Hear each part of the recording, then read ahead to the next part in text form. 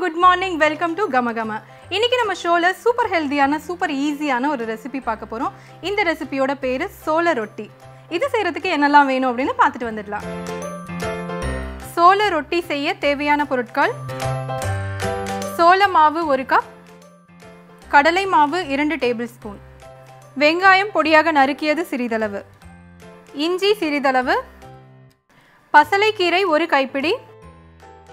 பச்சை மிளகாய் தேவையான அளவு சீரகம் அரை டீஸ்பூன் எண்ணெய் தேவையான அளவு உப்பு தேவையான அளவு சோள ரொட்டி அதாவது ஜோவர் இந்த மாவு பேர் வந்து ஜோவர்னு போட்டிருக்கோம். நீங்கள் தமிழில் பார்த்தீங்கன்னா பக்கத்தில் சோள மாவுன்னு போட்டிருக்கோம்.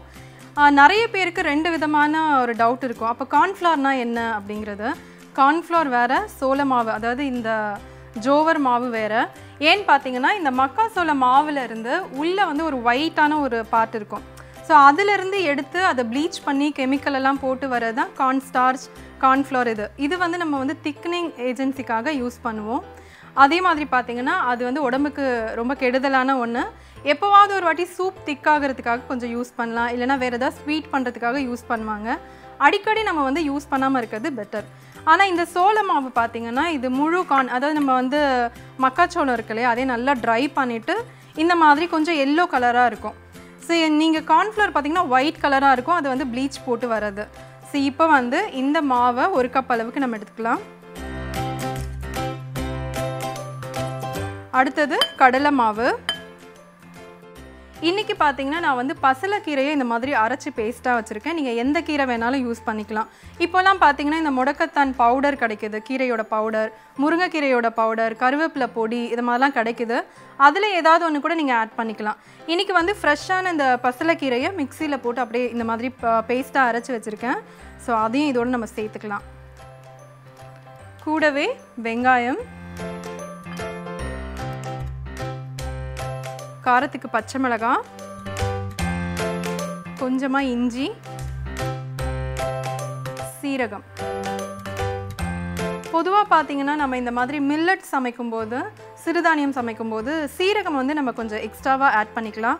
ஏன்னா நிறைய பேர் சொல்கிறாங்க இதுக்கு வந்து ஜீரணமாக மாட்டேங்குது சீக்கிரமாக டைஜஸ்ட் ஆகலை அப்படின்னு ஒரு கம்ப்ளைண்ட் இருக்கும். ஆக்சுவலாக அந்த மாதிரி இருக்காது நமக்காக தோன்ற விஷயம்தான் அது. நீங்கள் வந்து இந்த மாதிரி சீரகம் சேர்த்துக்கிட்டால் ரொம்பவே யூஸ்ஃபுல்லாக இருக்கும். இதுக்கு தேவையான அளவுக்கு உப்பு சேர்த்துக்கலாம். சோள மாவு பார்த்தீங்கன்னா உடம்புக்கு குளிர்ச்சி. அதாவது இதில் நிறைய விட்டமின்ஸ் இருக்குது ஸ்பெஷலி பார்த்தோன்னா நம்ம மில்லட்ஸ் வகை எடுத்துக்கிட்டாலே உடம்புக்கு சூடு அப்படின்னு சொல்லுவாங்க. ஆனால் இந்த சோள மாவில் பார்த்திங்கன்னா உடம்பை வந்து குளிர்ச்சி பண்ணக்கூடிய ஒரு இது இருக்குது அதே மாதிரி ரோட்டின்னு சொல்லியிருக்கோம். நம்ம வந்து சப்பாத்தி மாவு பதத்துக்கு வந்து இதை பிசைய வேண்டாம். ஏன்னா ரொம்ப ஒரு மாதிரி ஹார்டாக இருக்க மாதிரி இருக்கும். ஸோ கொஞ்சமாக தண்ணி அதாவது கையில் எடுத்து நம்ம தரட்டுற அளவுக்கு அதாவது கையிலேயே தட்டி நம்ம வடையெல்லாம் தரட்டி போடுவோம் இல்லையா? அந்த மாதிரி ஒரு பதத்துக்கு இந்த மாவு இருந்தால் ஓகே. பார்த்தீங்கன்னா இந்த மாதிரி ஒரு பதத்துக்கு. ஸோ மாவு ரெடி பண்ணியாச்சு. இப்போ மாவு ரெடி பண்ணி வச்சாச்சு. இப்போ எப்படி தரட்டலாம் அப்படின்னு பார்ப்போம்.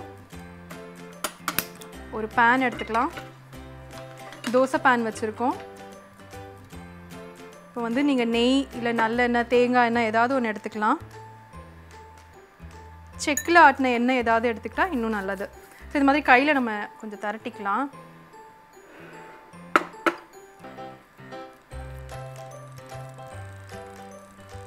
நமக்கு எந்த சைஸ் வேணுமோ தவாவில் இந்த மாதிரி டைரெக்டாக வச்சுட்டு இந்த மாதிரி கையிலேயே அப்படியே திரட்டிக்கலாம். சப்போஸ் பிகினஸாக இருந்தால் இந்த மாதிரி டைரெக்டாக தரட்டுறதுக்கு பயமாக இருக்குது சூடு தாங்காது அப்படின்னு நீங்கள் ஃபீல் பண்ணிங்கன்னா வாழை இலையில வச்சுட்டு இந்த மாதிரி தரட்டிட்டு நல்லா தின்னாக தரட்டிட்டு அப்படியே நீங்கள் வந்து ஃப்ளிப் பண்ணிக்கலாம். தேவையான அளவுக்கு எண்ணெய் இல்லை நெய் பட்டர் எதுனாலும் நம்ம ஆட் பண்ணிக்கலாம்.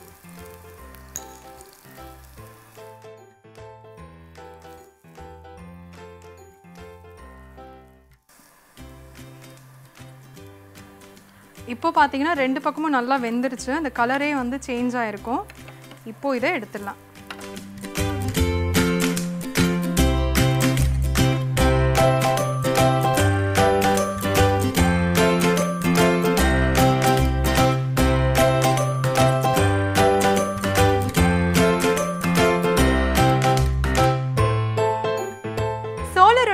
பண்ணுறதுன்னு பார்த்தீங்க கண்டிப்பாக உங்கள் எல்லாருக்கும் ரொம்பவே பிடிச்சிருக்கும். ட்ரை பண்ணி பாருங்கள் இதே மாதிரி இன்னொரு எபிசோடில் நான் உங்களை மறுபடியும் மீட் பண்ணுறேன் அது வரைக்கும் டாடா பபாய் ஃப்ரம் சுஜா